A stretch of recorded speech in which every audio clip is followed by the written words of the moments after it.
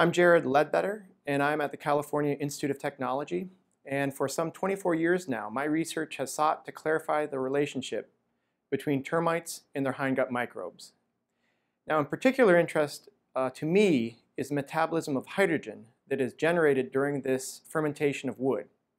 But today I want to give you a broad overview on microbial diversity and on some of the essentials of termite hindgut microbiology. So I want to talk about biological diversity in general because many who are interested in biology are missing actually some of the uh, full diversity that we see in the microbial world. And then I also want to comment about how some of this diversity is surprisingly abundant in certain areas of the world and that we must understand what that diversity does and how it functions. So this will bring me to termites and the symbiosis they form with their hindgut microbes.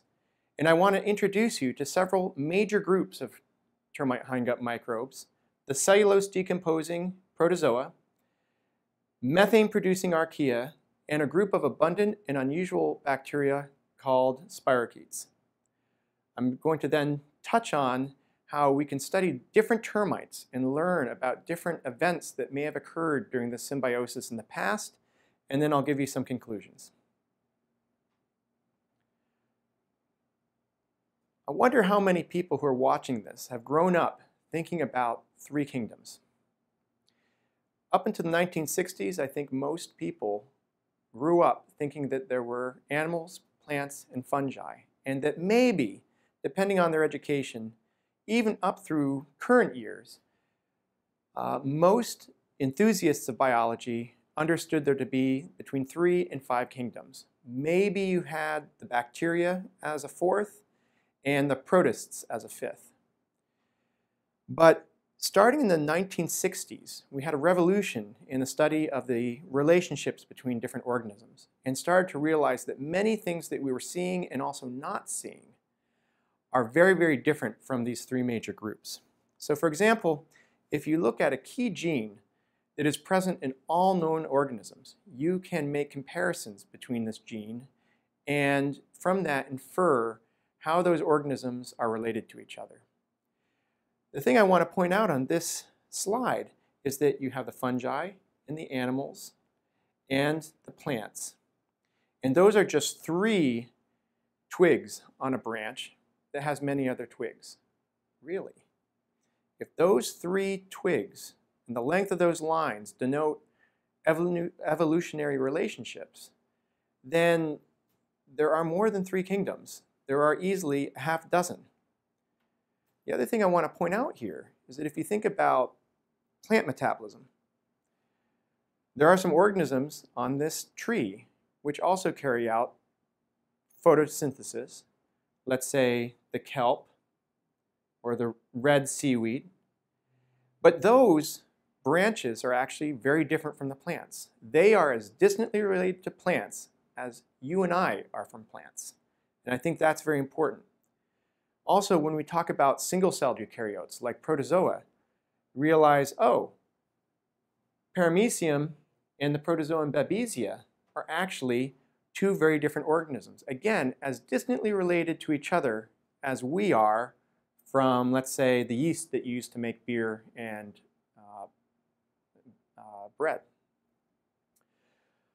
So the number of kingdoms or major divisions of life already gets more complex than those three that we know. The truth is actually much more complex than that because this is now just a snippet of a branch of a much more complex tree. You'll see that I've just blown up this section of a much larger tree. One of the things I want to point out on this slide is that there are many, many branches on this, easily a hundred, which are uh, more distant from each other than the distance between corn and animals. And what that suggests then is that uh, we have a lot to learn about the differences between these different groups. So for instance, everything that is lying outside of the circle is a microbe. They're single-celled organisms which are smaller than you can see with your naked eye. So for as much as we can appreciate biological diversity that you can see, The true diversity of life is beyond the resolution of the human eye, and we have to use other methods to really understand how it works. The second thing I want to point out is how different the way of living is for corn or a plant and ourselves, or from a yeast that used to make bread and beer. If the length of those lines, which is comparatively short, and the difference in, uh, differences of these organisms is so great, imagine the possible differences in the ways that these organisms live. So we are potentially really missing out not just on diversity in terms of how things are related, but also missing out on the diversity of what organisms are actually doing in the environment. And so if we're to understand the environment, we really have to learn more about what these other organisms are doing. Let's come back to this tree. Let's come back to this organism kelp. I want to illustrate another point. It's not just that there are many, many organisms out there which are different from the organisms we're most familiar with, but in some environments, those organisms are present and very, very abundant. Take the kelp. You can find kelp forests off the coast of California. And those kelp are performing what we might call plant metabolism. So they are the primary producers in those environments. But keep in mind, they're not plants. So the story of these coastal ecosystems is in large part driven by an organism that's very different from a plant. And so if we want to understand those coastal ecosystems, part of the story is understanding the biology of kelp and understanding in what ways they are similar and different to the terrestrial or land plants that we study. Now, I want to shift from the oceans to my own research, which is study on termites and their hindgut microbes. And I want to point out that the termite hindgut is an environment. It happens to be an environment that lives in a small insect, but we can compare and contrast that environment with, for, for instance, a very rich marine environment like the Sargasso Sea. There are certain reasons why you might want to study a small environment like in a termite. Sargasso Sea is a wonderful and amazing place, very important to study, but it's a thousand kilometers across, and there's only one of them. The termite hindgut is only about one cubic millimeter in volume, and yet it contains hundreds and hundreds of microbes that you find nowhere else in nature. Just if you were to take the top millimeter of the Sargasso Sea, the volume of that across those thousands of kilometers is 19 orders of magnitude greater than the volume of that one termite. So we can actually bring a termite into the laboratory and be able to study an entire environment the hindgut, it's tiny yet complex, many hundreds of species, and some of those species are yet unstudied. So it is still bewilderingly complex, and it's well bounded. We know that the gut lining and the outside of the termite are where you might define the boundaries of that system. Sargasso Sea is wonderful, but there's only one of them, and its boundaries are a little bit user defined. We think that it's, you know, the currents that are intersecting here and there are what bound that region, whereas in the insect, it's very well bounded. And of course, the termite is available in large numbers of replicates. So we can, in the laboratory, have that one environment that's tiny and well bounded replicated in termite after termite and termite. So we can start to do some comparative studies and perturbation studies, which are just not possible with a large environment like the Sargasso Sea, for which there's only one. So I study a very particular termite that we find in ponderosa pine that's fallen in the Angeles National Forest of Southern California. And here is one of these ponderosa pines and uh, two of my former students who have peeled off some of the bark from this log, which has been on the ground for probably five or 10 years. And if you look a little bit more closely, you can see that just on the underside of that bark are a number of termites of different what we call morphological castes. These ones with the dark mandibles are actually soldiers rather than eating wood, they have big mandibles that they can use to attack, for instance, another termite or an invading ant. So this is the termite that we study for the most part in my laboratory. It's the dampwood termite, Zootermopsis nevadensis. And it's about a centimeter in length. One of the larger termites that you'll find on Earth. Now, this is what we call a worker. And from another specimen, I've extracted the hindgut tract. and that is shown here. And what you'll observe is that there is a long tubular region which is somewhat analogous to our small intestine, and then you have this uh, hindgut paunch, which is somewhat analogous to our large intestine. And it's in this paunch that really you find a lot of things that excite microbiologists. You find a density of microbes that you find nowhere else in nature, and they represent all three domains of life. Earlier on that slide, I'd shown you that tree of life where you actually have three major subgroups, uh, and those are the archaea, the bacteria, and the eukaryotes. You find single-celled relatives of all three of those groups uh, comprising hundreds of species in this hindgut paunch.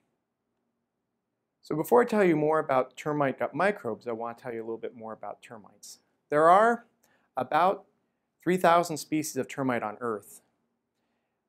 Termites are related to cockroaches and to the mantids, like the praying mantis. And they're actually, although insects, quite distantly related to ants, wasps, and bees, which are also social. So this is an example of where society or sociality in insects has arisen in two different groups of insects which are very different from each other. So termites and those 3,000 species of them can be subgrouped into several different families. And their closest relative in the insect world is the what we call the wood roach, which is a non-social but wood-feeding insect that you find in the Carolinas, in the Pacific Northwest, and in parts of China.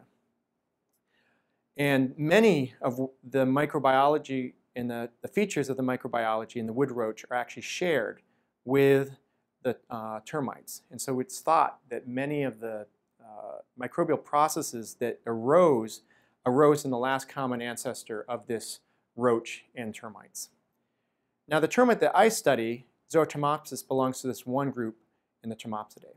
So over time, we can start to ask, are any of the patterns that we see here uh, present in some of these other groups? Now, if you extract the gut from Zootermopsis or another termite, and you take a cross-section through that gut, what you'll see is that the insect tissue itself is actually very, very thin.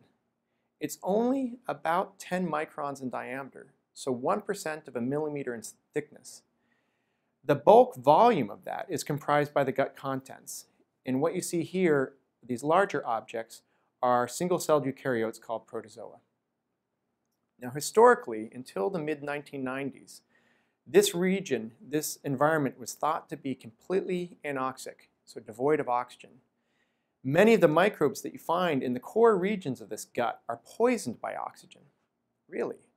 Here you have this insect, which is living in the aerobic world and wandering around on its six legs in a piece of wood or on a piece of wood containing microbes which are poisoned by oxygen. The story is actually even more complex because it turns out uh, through studies that were performed by Andreas Brune and John Breznak in the mid-1990s, the oxygen actually diffuses across the insect gut wall and then is consumed by biological processes in the periphery of that hindgut. And it's those biological processes in the periphery which lead to the lack of oxygen in the core, which protects some of those oxygen-sensitive microorganisms.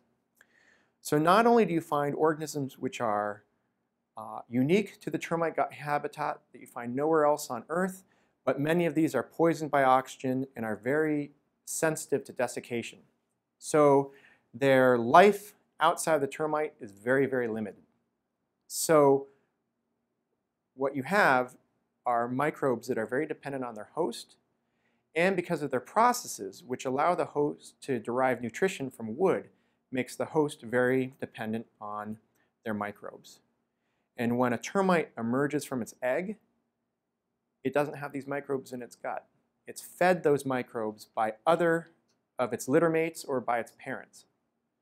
And if those microbes don't take hold, that termite will fail. And if that termite fails, those microbes will also fail.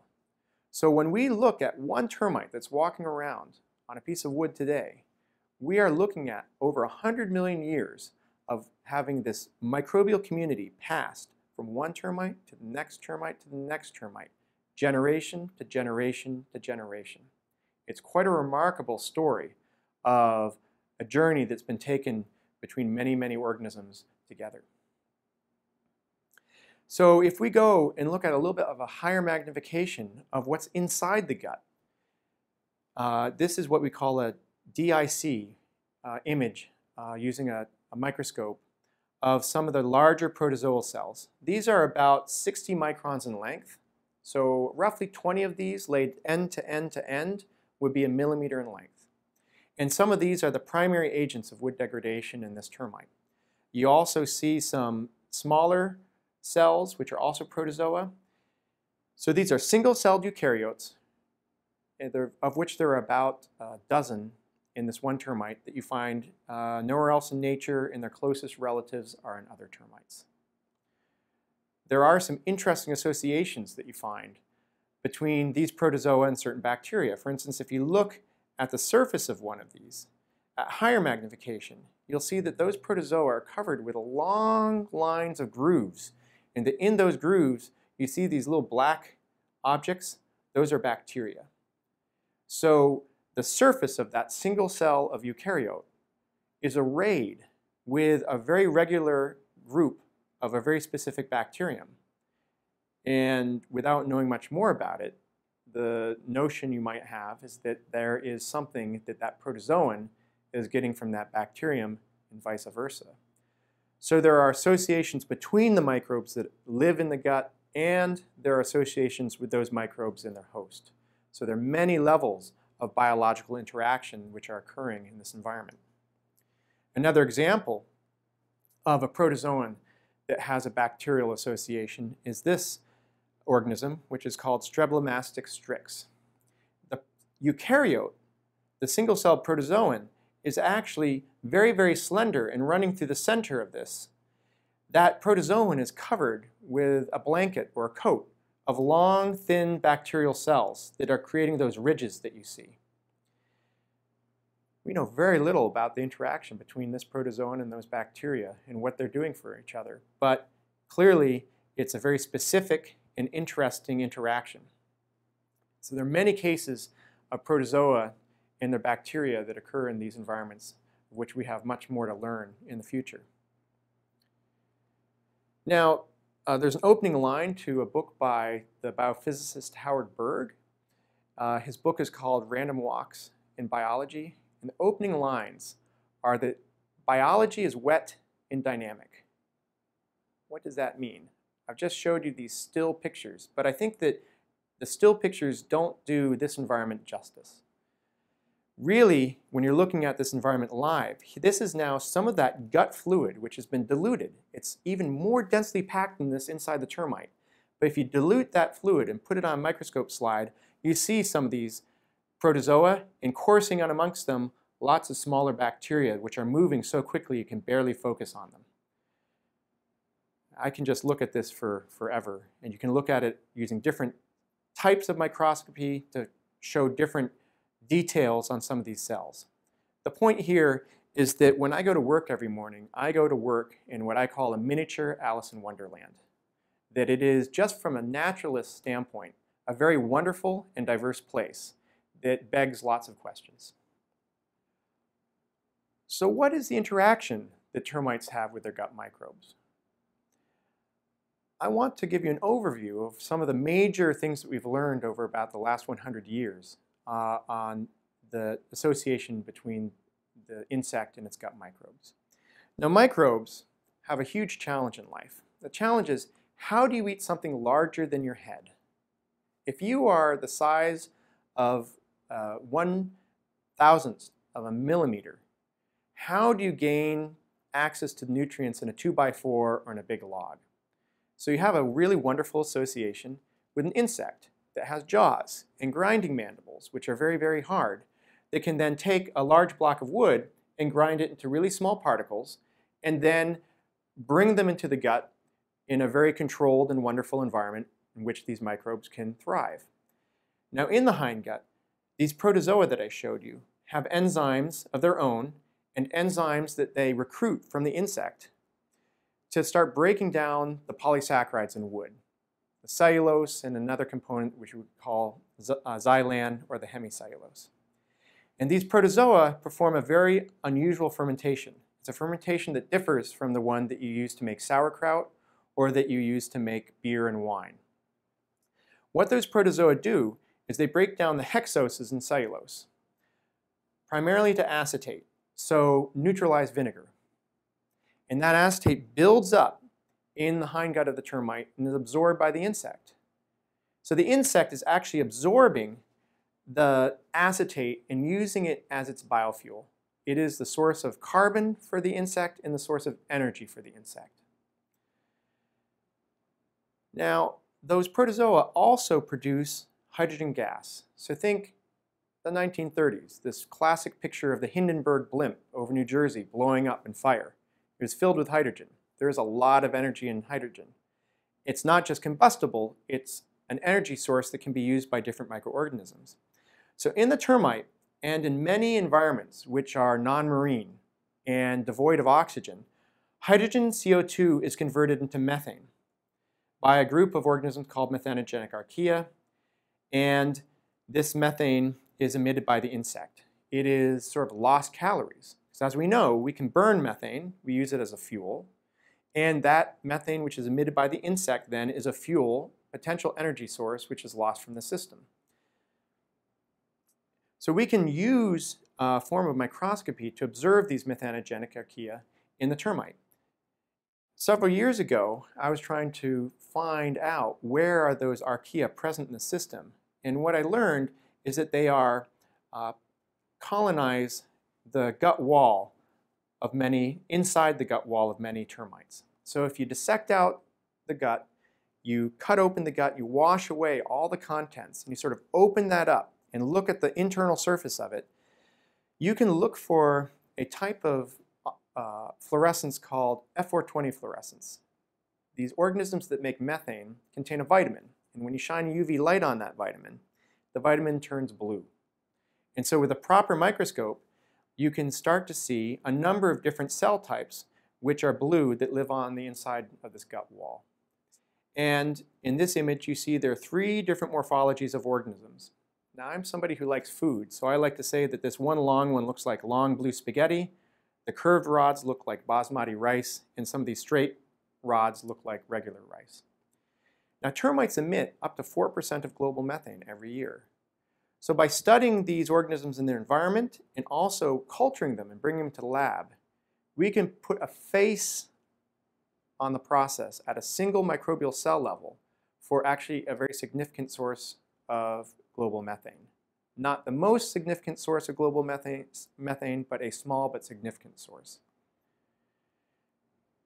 I uh, like to show this slide of a paper mache cow because I knew that when I first got to Caltech I was having some impact on undergraduate life uh, there because when I talked about termites and processes that occur in a cow, the next Caltech Ditch Day, it occurs every spring, uh, the students had made this large paper mache cow and filled it with chocolate pudding, Easter grass, oatmeal, and Easter eggs that were filled with clues on where the students should go to their next uh, puzzle.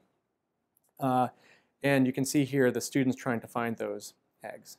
The point I want to make here is that uh, cows lose about 20% of their electrons in their food as methane. It's a huge waste of energy. And although termites contain methanogens and emit methane, it's only a very small amount of this hydrogen CO2 that is lost to the system as methane. On a global scale, it's significant, but actually on a global scale, the methane emission by termites would be much more significant if this hydrogen CO2 was not being consumed by a different group of organisms, which we call uh, CO2 reducing homoacetogens. So many termites contain microbes that completely push these methane organisms out of the picture or push 90% of them out of the picture. So many termites will take, have microbes that convert hydrogen CO2 into acetate, and this acetate then goes into that pool in the gut and absorbed by the insect. So up to a third to a fifth of the acetate which is used as the biofuel by these insects is derived from carbon dioxide and hydrogen by way of the activity of those protozoa and by way of the activity of these organisms here. So I've long been interested in the interaction between organisms competing for this hydrogen CO2 that make acetate and that make uh, methane from those. Understand how they compete with each other, how has this process come to pass in termites, why doesn't it occur in the cow rumen, and how do these hydrogen consumers interact with the organisms which are producing the hydrogen, the protozoa. So CO2 reductive acetogenesis is a bacterial activity. Uh, the process involves the fixation of two molecules of carbon dioxide, one, two, with four molecules of hydrogen, one, two, three, four.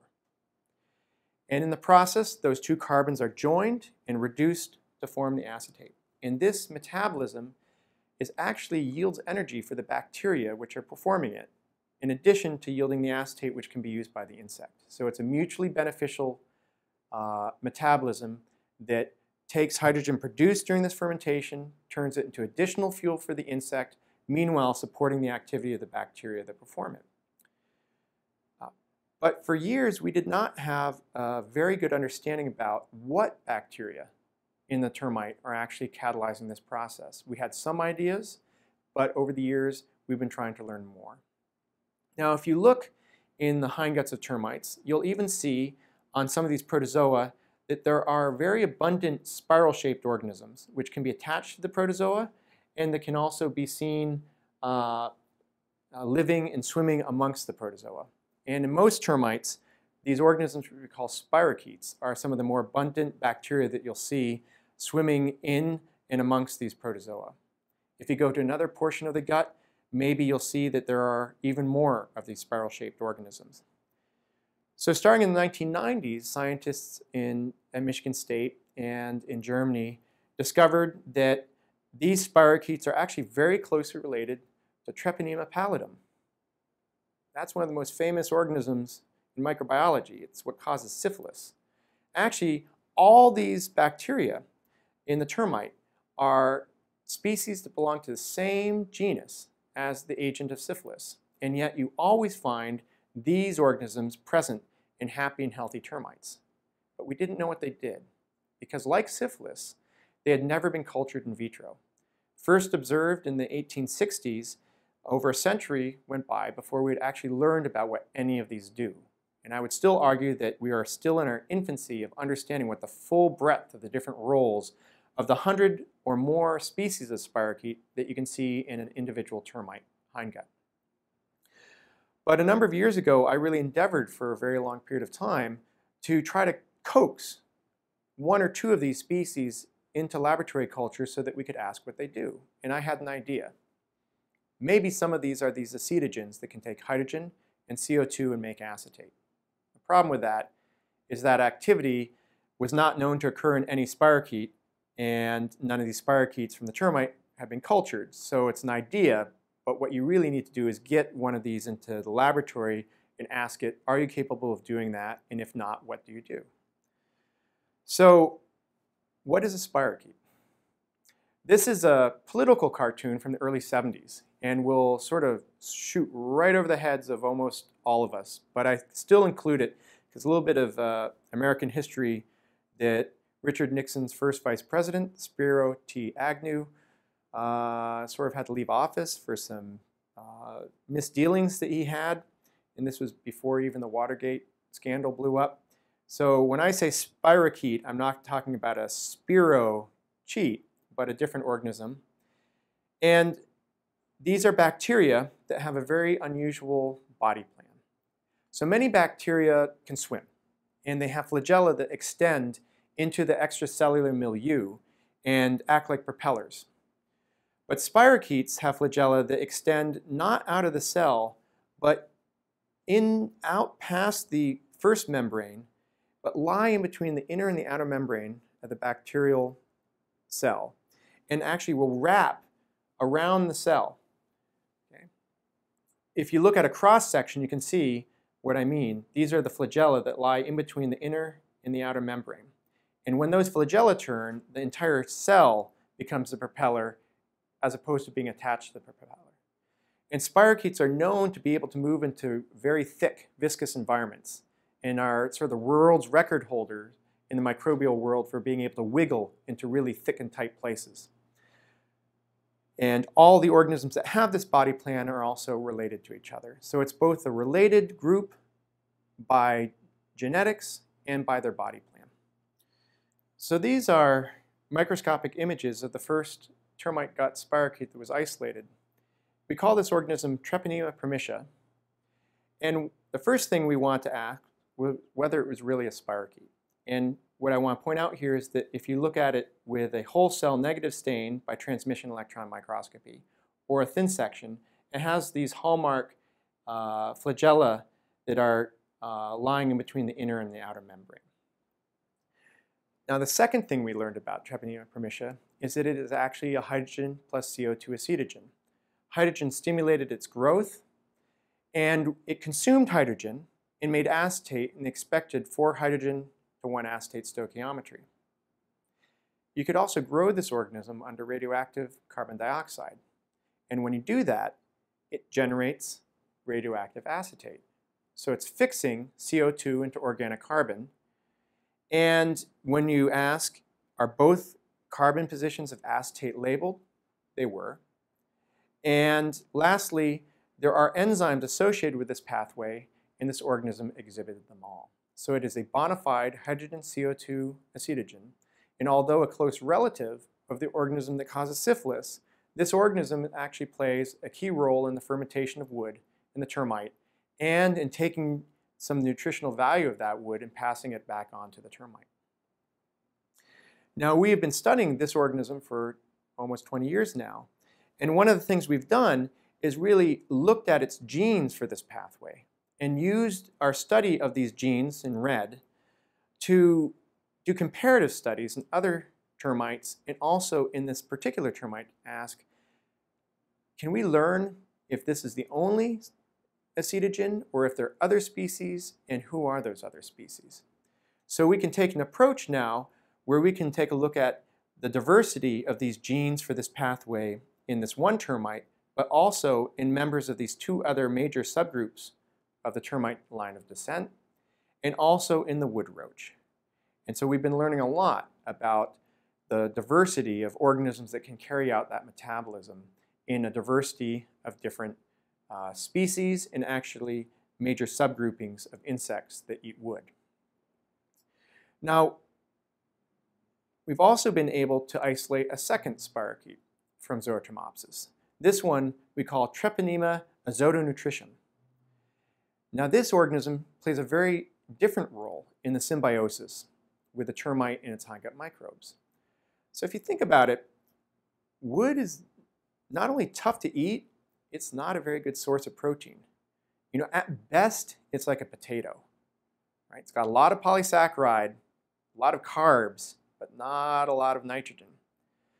So you can be degrading that wood and providing the calories to the host but that's only one of the host's major problems in life. The other, other problem is to make protein. And so if you ask what's going to limit the ability of this insect that's eating a block of wood or your home, what's going to limit its proliferation, part of the story is on protein. So turns out that some 35 years ago, John Breznak uh, at Michigan State University discovered that termites contain microbes that can take atmospheric nitrogen, which is bathing all of us and is in the atmosphere all around us, and can take that and turn it into protein that can then be fed to the insect. And this particular spirochete, we, when we got it into culture, into laboratory, we could show can do that same activity. So this is one of the organisms that we say can exhibit diazotrophic growth. It can grow as with N2 gas as its sole source of eventual protein.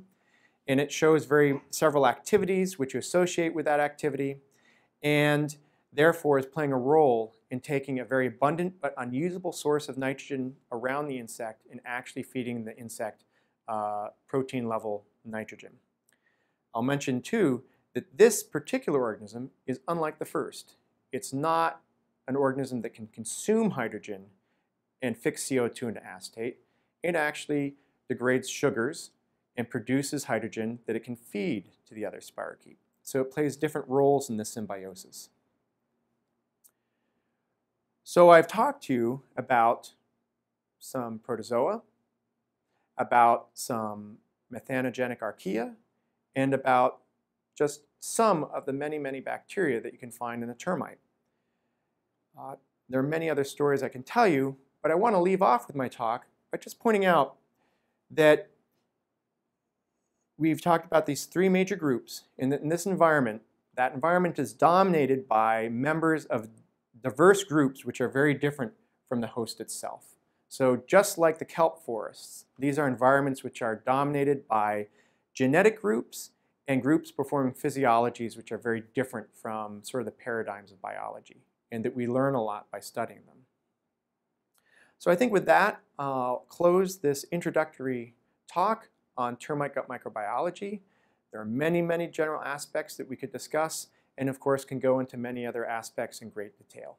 And so uh, I'd like to point out that there have been many research groups and scientists that have been working on termites for well over a century. And I've tried to encapsulate some of their findings as well as the findings of my own laboratory into the presentation that I've given you today. Thank you very much.